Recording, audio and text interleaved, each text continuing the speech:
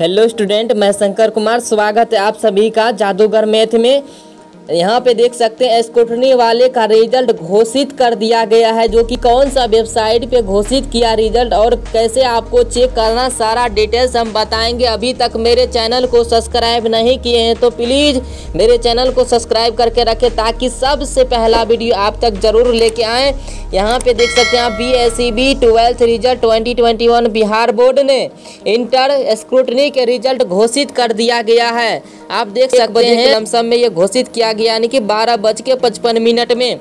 आप यहाँ पे देख सकते हैं, बिहार स्कूल एग्जामिनेशन बोर्ड ने, बिहार बोर्ड ने इंटरमीडिएट स्क्रूटनी का रिज़ल्ट जारी कर दिया है। जिन स्टूडेंट से स्क्रूटनी के लिए आवेदन किया था, वो उम्मीदवार Bihar board online dot com पर जाकर नतीजे चेक कर सकते हैं। आप जो है इस वेबसाइट पे अपना जो है नतीजे को चेक कर सकते हैं। ये वाला नतीजे यहाँ पे जो देख रहे हैं, इस वेबसाइट पे आप जो है अपना जो है रिज़ल्ट चेक कर सकते हैं।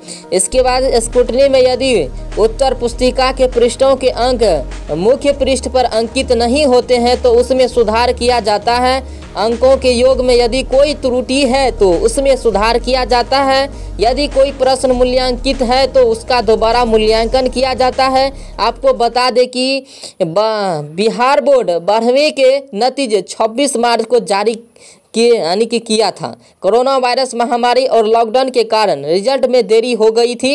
इसके बाद यहाँ पर आप देख सकते हैं, बिहार बोर्ड रिज़ल्ट 2021 ऐसे करें चेक। तो सबसे पहले अधिकारी वेबसाइट पे आपको जाना होगा, जो कि यहाँ पे वेबसाइट यहाँ पे दिया हुआ है। डिस्क्रिप्शन में लिंक दिया हुआ वहाँ पे जा करके आप रिज़ल्ट को चेक कर सकते हैं। Bihar board online dot in, Bihar government dot in पर जाएँ। यहाँ यहाँ पे लिंक दिया हुआ है। स्क्रूटनी रिज़ल्ट सभी चेक कर सकते हैं। और रिज़ल्ट यानी कि सबसे पहले पाने के लिए आप चाहते हैं तो हमें जो है, आप अपना roll code, roll number comment कर दें और कौन किस जिला से हैं तो कमेंट में ज़रूर बताएँ।